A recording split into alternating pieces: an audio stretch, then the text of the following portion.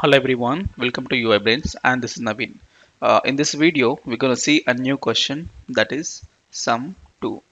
Okay, so let me see this.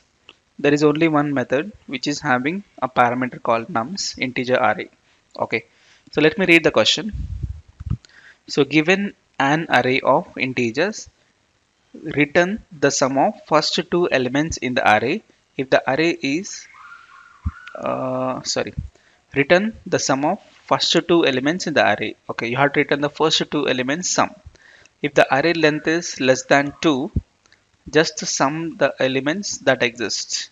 Okay and return 0 if the array length is 0 uh, okay the question here is they may give the array of n number of length. Okay so if it is more than two elements then you have to return the first two elements of the array. I mean sum of the first two elements of the array.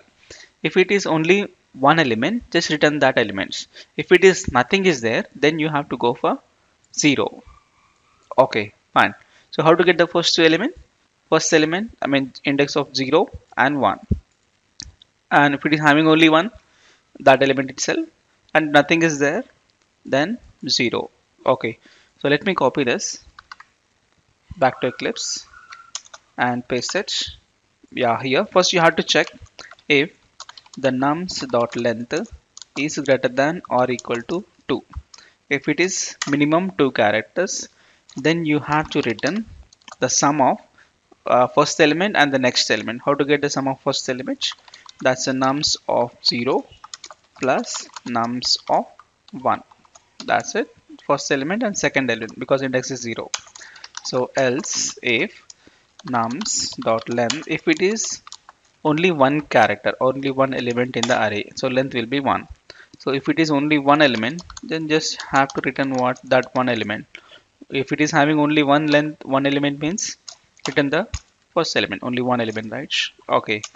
So else uh, again else means minimum two characters one character this for zero character. If no i mean no elements are there you have to return zero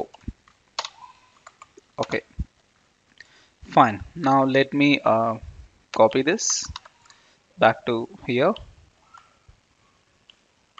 And let me paste it and click on go. Yes it is success right? And uh, they give me solution? No solution. Okay fine. And this is the solution for this problem. And that's it. No optimization I think so uh, no we have to check the three conditions yes. Okay. And this is solution for this problem and thank you so much for watching and we'll see the next question in the next video. Thank you